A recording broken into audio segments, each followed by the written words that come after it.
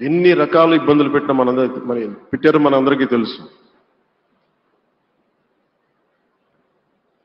ఒక పేపర్ ఒకటే నడపటం చాలా అది కష్ట సాధ్యమైంది కానీ దాంతోపాటు ఆయనకి నష్టపోవడానికి జనరల్గా అలాంటి విలువలు కమిట్మెంట్ ఉన్న వాళ్ళు మిగతా వ్యాపారాలు అంటే ఆయన్ని అన్ని రకాలుగా దాడులు చేయడానికి చాలా తేలిక. అలాంటి దాడుల్ని తట్టుకుంటూ జర్నలిస్ట్ యాజ్ అ జర్నలిస్ట్ ఆయన compromise uncompromising attitude uncompromising valour అవన్నీ ఆయన్ని నాకు చూస్తే చాలా చాలా ఆనందం వేసింది. ఆయన ఒకటే చెప్పారు నాకు your upcoming political leader I wish you all the best నీ జీవితంలో నువ్వు కాంప్రమైజ్ అవ్వకు. Whatever you believe in నువ్వు ఏదైతే నమ్ముతావో దాన్ని త్రికరణ శుద్ధిగా చేయని చెప్పి ఆయన చెప్పింది నేను ఈ రోజుకి మర్చిపోలేను.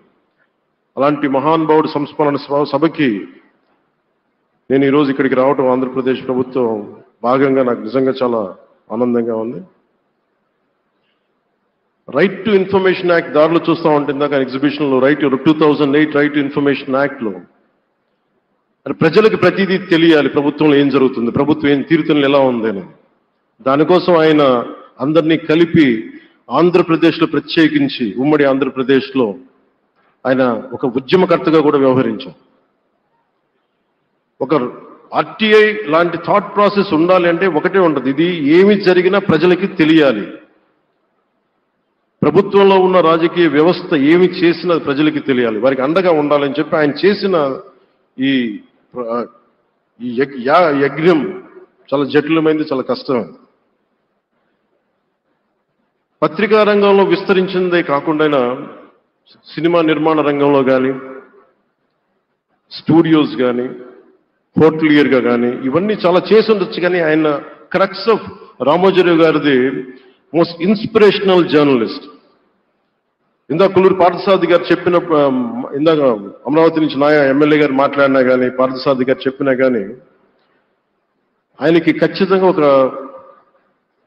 విగ్రహం బలం ఒక విగ్రహం పెట్టాలని. ఎందుకంటే జర్నలిస్ట్ విలువల్ని కాపాడి ఎన్ని కష్ట ఆయన ఎందుకు ఇన్స్పిరేషన్ అంటే ఎన్ని కష్ట నష్టాలు వచ్చినా ఎన్ని ఒక జర్నలిస్ట్గా ఉండటం వేరు ఒక పత్రిక ఆధిపతిగా ఉండి అన్ని ఒడిదుడుకులు ఎదుర్కొని ఆయన కుటుంబాన్నంతా బెదిరించినా కానీ ఏమి చేసినా కానీ జనరల్గా కుటుంబ సభ్యులు కష్టం వస్తే నలిగిపోతాం.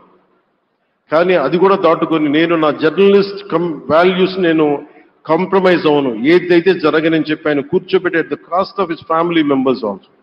He went ahead and uphold the journalistic values వారికి దానికి చాలా చాలా సాహసంగా. నాకు చాలా ఆనందం వేసింది. ఆయన ఆఖర్లు ఎలక్షన్ రిజల్ట్స్ వస్తాయి ఎప్పుడు వస్తాయి వీటన్నిటి అను అనుకున్న టైంలో నేను ఒకటి అనుకున్నాను ఆయన ఆరోగ్యం క్షీణిస్తూ ఉంది బాగుండు ఆయన ఈ విజయ వార్త వింటారా లేదా అనేది నేను ఒకటి ఆలోచిస్తూ ఉన్నాను సో నేను శ్రీమతి శైలజ కిరణ్ గారిని సుమన్ గారిని శ్రీమతి విజయశ్రీ గారిని అడిగినప్పుడు నేను ఒకటి అడిగాను. ఆయన విన్నారా అండి? ఆయనకి మాటలు వినిపించినాయా?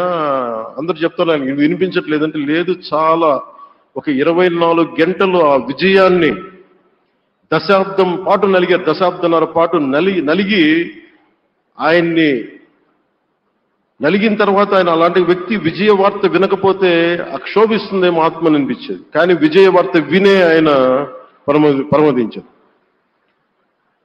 అందుకు నాకు చాలా ఒక తృప్తినిచ్చింది.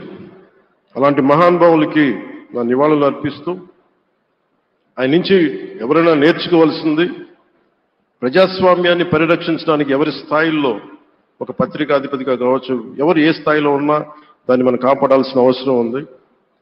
అలాగే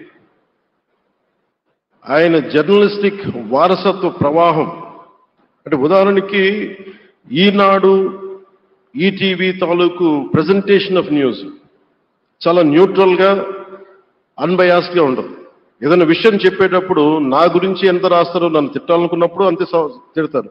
అంటే నువ్వు చేసే పనిని బట్టే గుర్తిస్తారు తప్ప నాకు తెలుసు కదా అని చెప్పి మళ్ళీ దానికి ఫేవరెటిజం ఉండదు.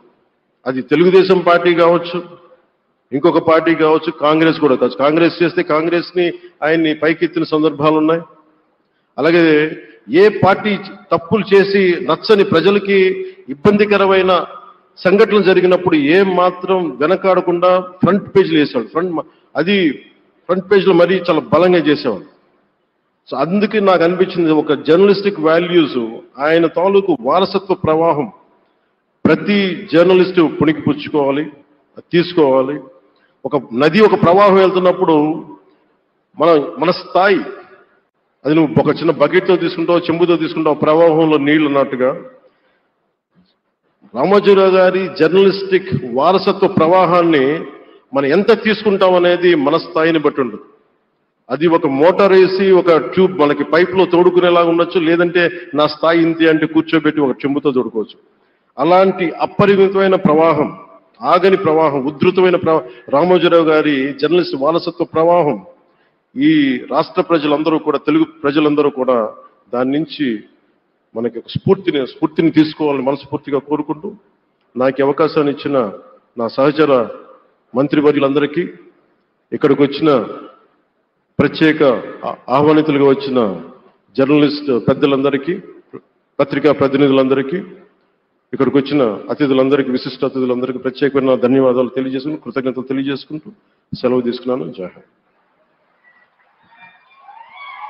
thank you honourable deputy chief minister garu ఒక మనిషి నుంచి ఎంత ఇన్స్పిరేషన్ తీసుకోగలిగితే మనకు అంత పుష్కలంగా ఒక దిగ్గజం లాంటి మహా వ్యక్తి